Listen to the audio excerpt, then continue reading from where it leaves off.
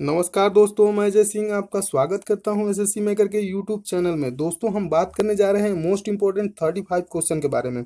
देखिए दोस्तों, ये पैंतीस क्वेश्चन बहुत ही इंपॉर्टेंट क्वेश्चन है जो वनडे एग्ज़ाम में बार बार पूछे जा रहे हैं। आप कोई सा भी एग्ज़ाम देंगे, उसमें बार बार एक क्वेश्चन रिपीट हो रहे हैं। देखिए दोस्तों, एक और चीज़ बता दूँ।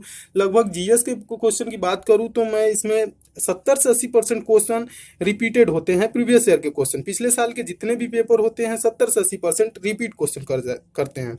तो इसलिए मैं इस टाइप की वीडियो बना रहा हूँ। आपको आगे और भी इसे दो चार वीडियो मिलेंगे, क्योंकि मैं इसमें चाह रहा हूँ पंद्रह सौ दो हज़ार क्वेश्चन की वीडियो बना दूँ, ताकि आपके लिए कोई भी क्वेश्चन जीएस की वजह से आपका कोई भी क्वेश्चन छूटे ना। उसमें सारे क्वेश्चन आपके आ जाएँगे। तो आइए हम मोस्ट इंपॉर्टेंट थर्टी क्वेश्चन का पहला क्वेश्चन देखते हैं। क्या है?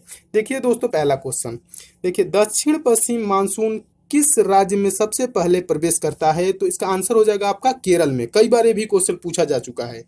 जो यहाँ पे क्वेश्चन मिलेंगे, पूछे जगह ही क्वेश्चन है बार बार देखिए, दूसरा क्वेश्चन आपका कह रहा है, दूरदर्शन से रंगीन प्रसारण कब आरंभ हुआ? दूरदर्शन से रंगीन प्रसारण कब आरंभ हुआ? तो उन्नीस सौ ईस्वी में, ठीक है? उन्नीस सौ बयासी ईस्वी से दूरदर्शन पे रंगीन प्रसारण स्टार्ट हो गया, ठीक है? नेक्स्ट क्वेश्चन देखिए, विश्व वन्य जीव कोष द्वारा प्रतीक के रूप में किस पशु को लिया गया है? किस पशु को लिया गया है? तो पशु है पांडा। पांडा आप देखे होंगे, ठीक है? नेक्स्ट क्वेश्चन देखिए विश्व के सबसे बड़े कंप्यूटर नेटवर्क का नाम क्या है? तो विश्व के सबसे बड़े कंप्यूटर नेटवर्क का नाम इंटरनेट है। मोस्ट इंपोर्टेंट क्वेश्चन है। इंटरनेट जो आप यूज़ करते हैं, ठीक है? Next question most important question देखिए। ईमेल के जन्मदाता कौन है? ईमेल के जन्मदाता, कई बार क्वेश्चन आ चुका है। तो ईमेल के जन्मदाता आपके रे टामलिंसन है। ये रे टामलिंसन, नाम याद रखिएगा, ईमेल के जन्मदाता हैं। नेक्स्ट क्वेश्चन, एक और क्वेश्चन देख लीजिए। World wide web W W W ठीक है? के आविष्कारक कौन है? तो टीम बर्नर्स ली ये भी कई बार पेपर में आपके आ चुका है। Tim Berners Lee W W W के आविष्कारक हैं, ठीक है? और एक और क्वेश्चन नेक्स्ट क्वेश्चन ये भी मोस्ट इंपॉर्टेंट क्वेश्चन है, देखिए एस टी टी पी का पूर्ण रूप क्या है? यानी कि एस टी टी पी का फुल फॉर्म क्या होता है? ठीक है? ये भी पेपर में कई बार आया है तो इसका फुल फॉर्म होता है हाइपर टेक्स्ट ट्रांसफ़र प्रोटोकॉल ठीक है? इसे भी आप याद रखेंगे, ये भी आपका इंपॉर्टेंट क्वेश्चन है, ठीक है? नेक्स्ट क्वेश्चन देखिए, दीपिका कुमारी का संबंध किस खेल से है? तो इसका आंसर आपका हो जाएगा तीरंदाजी। तीरंदाजी से दीपिका कुमारी का संबंध है, तीरंदाजी खेल से, ठीक है? और एक और क्वेश्चन नेक्स्ट क्वेश्चन देखिए। भारत में करेंसी नोट पर उसका मूल्य उसका मूल्य कितनी भाषाओं में लिखा होता है? उसका जो मूल्य होता है, जैसे दस रुपए का नोट होता है, दस रुपए कैसे कितने भाषाओं में लिखा रहता है तो इसका आंसर हो जाएगा सत्रह भाषाओं में, ठीक है? ये भी कई बार लोग भी पूछ देते हैं पेपर में भी आया हुआ क्वेश्चन है, ठीक है? नेक्स्ट क्वेश्चन देखिए। फ्रांस की क्रांति कब हुई थी? तो इसका आंसर हो जाएगा सत्रह सौ नवासी ईस्वी में, ठीक है? सत्रह नवासी ईस्वी में। एक और नेक्स्ट क्वेश्चन ये भी मोस्ट इंपोर्टेंट क्वेश्चन है, कई बार पेपर में आया है। दुनिया के मजदूर एक हो, दुनिया के मजदूर एक हो, का नारा किसने दिया? तो आंसर हो जाएगा कार्ल मार्क्स ने। ठीक है दोस्तों, इसे याद रखेंगे कार्ल मार्क्स ने क्या नारा दिया था? दुनिया के मजदूर एक हो। देखिए दोस्तों, कुछ और इंपॉर्टेंट क्वेश्चन को देख लेते हैं। आपका यहाँ तक हो गया कार्ल मार्क्स आइए और रहा, यहाँ से आपका, देखिए। समानता, समता और बंधुत्व का नारा किस क्रांति की देन है? तो फ्रांस की राज्य क्रांति। ये भी पेपर में आया हुआ है, ठीक है? एक और मोस्ट इंपॉर्टेंट क्वेश्चन एशिया का नोबेल पुरस्कार किसे कहा जाता है? एशिया का नोबेल पुरस्कार आएगा तो किसे कहा जाता है? तो मैक्सेसे पुरस्कार को। मैक्सेसे पुरस्कार को क्या कहा जाता है? एशिया का नोबेल पुरस्कार। एक और क्वेश्चन लास्ट नेक्स्ट क्वेश्चन देखिए दोस्तों। सर्वाधिक ओजोन क्षयकारी गैस कौन सी है? सी एफ़ सी क्लोरोफ्लोरोकार्बन जिसे कहते हैं क्लोरोफ्लोरोकार्बन गैस जो होती है, ये सर्वाधिक ओजोन क्षयकारी गैस है, ठीक है? इसे भी याद रखेंगे, ये भी आपका पेपर में कई बार पूछा जा चुका है। नेक्स्ट क्वेश्चन एक और देखिए। सीपीयू का पूरा नाम क्या है? सीपीयू का फुल फॉर्म पूछना है, ठीक है? जो कंप्यूटर में होता है, ठीक है? तो उसे कहते हैं central processing unit. Central central processing unit कहते हैं। नेक्स्ट क्वेश्चन देखिए। सौर मंडल में ग्रहों की संख्या कितनी है? तो ग्रहों की संख्या कितनी है? आठ है। ये भी याद रखेंगे दोस्तों, ठीक है? पेपर में भी पूछा जा चुका है। एक और क्वेश्चन जब चंद्रमा सूर्य और पृथ्वी के बीच आता है, तब कौन सा ग्रहण लगता है? तब सूर्य ग्रहण लगता है। ठीक है दोस्तों? जब चंद्रमा बीच में आ जाएगा तो सूर्य ग्रहण हो जाएगा। और जब पृथ्वी बीच में आ जाएगा तो चंद्र ग्रहण हो जाएगा। ठीक है दोस्तों? ये भी याद रखेंगे।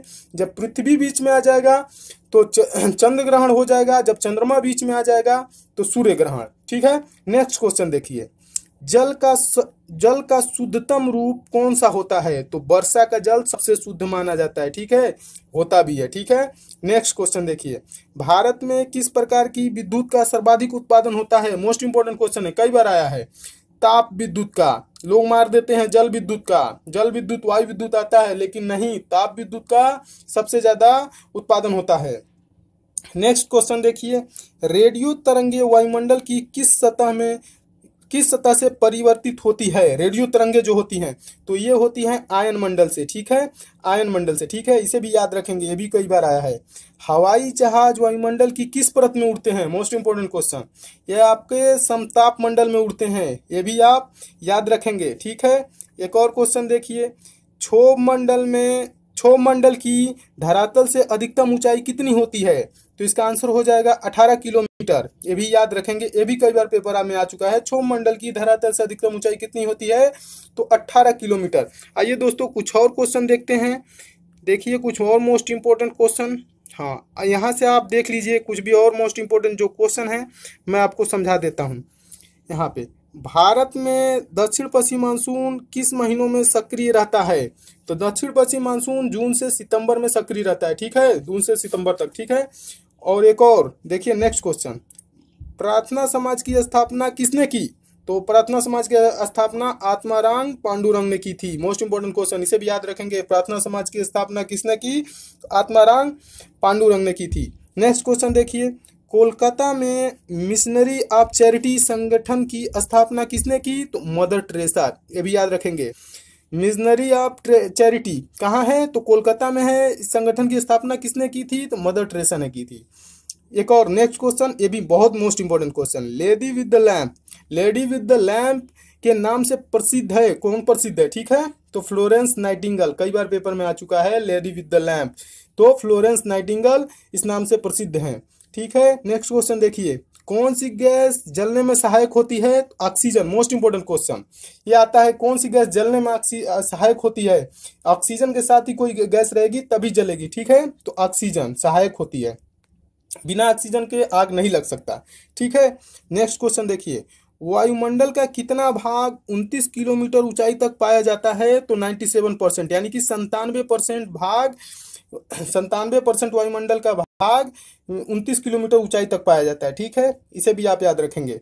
नेक्स्ट क्वेश्चन देखिए, अठारह की क्रांति का तत्कालिक कारण क्या था? तत्कालिक कारण वही था, देखिए क्या था चर्बी युक्त कारतूस का सेना में प्रयोग, यानी कि जो चर्बी युक्त गोली जो यूज़ में सेना में किए तो उसी के चलते अठारह की क्रांति हुई। नेक्स्ट क्वेश्चन देखिए। सन 1906 में ढाका मुस्लिम लीग की स्थापना किसने की? ठीक है? ढाका में मुस्लिम लीग की स्थापना किसने की? तो आगा खां और सलीम सलीमुल्ला खान ने। ठीक है दोस्तों, ये भी याद रखेंगे। और नेक्स्ट क्वेश्चन ये भी मोस्ट इंपॉर्टेंट क्वेश्चन भारत में डाक टिकट पहली बार कब चली? तो अठारह में। याद रखेंगे दोस्तों, भारत में डाक टिकट पहली बार कब चली? तो चौवन में। एक और क्वेश्चन देखिए। बंगाल, बिहार और उड़ीसा में अस्थाई बंदोबस्त किसने लागू किया? ठीक है? तो सत्रह सौ तिरानवे में लॉर्ड कार्नवालिस ने किया था। दोस्तों, ये भी याद रखेंगे, सत्रह सौ तिरानवे में लॉर्ड कार्नवालिस ने किया था। आइए कुछ और क्वेश्चन दोस्तों दोस्तों, ये रहा आपका यहाँ से। देखिए यहाँ पे हो गया आपका। पानीपत की पहली लड़ाई 1526 में। किसके बीच लड़ी गई? तो बाबर और इब्राहिम लोदी के बीच। दोस्तों, इसे भी याद रखेंगे, पानीपत की पहली लड़ाई कब लड़ी गई थी? तो 1526 में किसके बीच लड़ी गई थी? तो बाबर और इब्राहिम लोदी के बीच। दोस्तों नेक्स्ट क्वेश्चन देखिए। किस मुगल बादशाह की मृत्यु मृत्यु दिल्ली के पुस्तकालय में सीढ़ियों से गिरकर हुई। तो उसका आंसर हो जाएगा, हुमायूं की मृत्यु हुई थी दिल्ली के पुस्तकालय में सीढ़ियों से गिरकर, ठीक है? इसे भी याद रखेंगे।